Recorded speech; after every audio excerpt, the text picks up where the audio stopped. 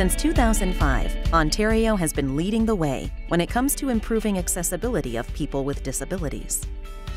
The Accessibility for Ontarians with Disabilities Act, otherwise known as the AODA, is a law that applies to all levels of government, nonprofits, and private sector businesses in Ontario that have one or more employees. This includes full time, part time, seasonal, and contract employees, with the aim of identifying, removing, and preventing barriers for people with disabilities. AODA consists of five standards and requires that all organizations meet with deadlines specific to an organization's type and size. One of these standards includes the Accessibility Standard for Employment, which helps organizations create opportunities to support and keep more skilled employees. Electricity Human Resources Canada is a national organisation whose mandate is to provide workforce planning support to the Canadian electricity industry. Our mission is to help the industry ensure that it has a current and future workforce that is highly effective, productive, safe, and diverse. The Disability to Inclusion project will see Electricity Human Resources Canada focus on improving equity of access and support to people with disabilities who work or who wish to work in the Canadian electricity industry. Burlington Hydro services a diverse customer base and it would only make sense that uh, we would hire a diverse workforce, which would include those with disabilities. What organizations may not understand is they may have individuals that are already employed that may have a disability. You just might not know it. By ignoring that, you could be very damaging in terms of the individual and also the whole company's culture. We're working hard every day to make sure that our employees have a healthy, safe work environment.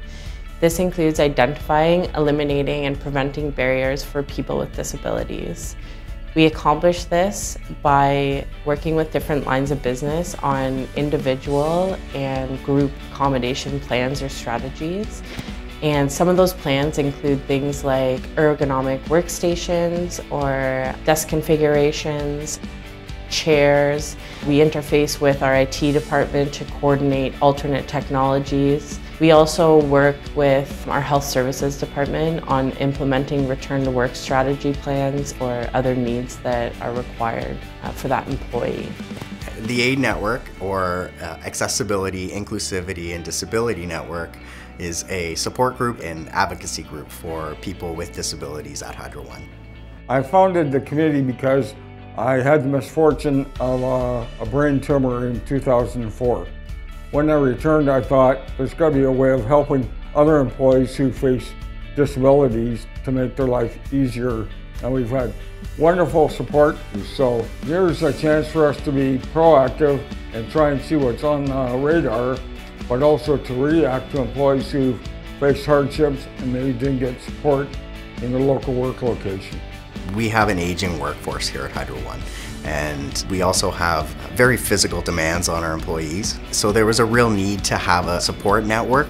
We're able to look at it from a big picture uh, and having members who, who do have some disabilities really helps because their perspective is invaluable. I think it's important to have a forum like this because as a person with a disability, just gives you that feeling that you're welcome there. At Burlington Hydro, we have individuals that have physical disabilities. We hired this individual over 10 years ago. He's committed. He has been one of our top performers in the organization. So our experience uh, at uh, Burlington Hydro has been positive when it comes to employing those with a disability. There are over 2 million people in Canada today that have a disability, be that physical, mental, or intellectual. We see that it's really important to ensure that when you are in that industry, you are working in a welcoming environment, one that values diversity and inclusion and will value you for what you bring to the job.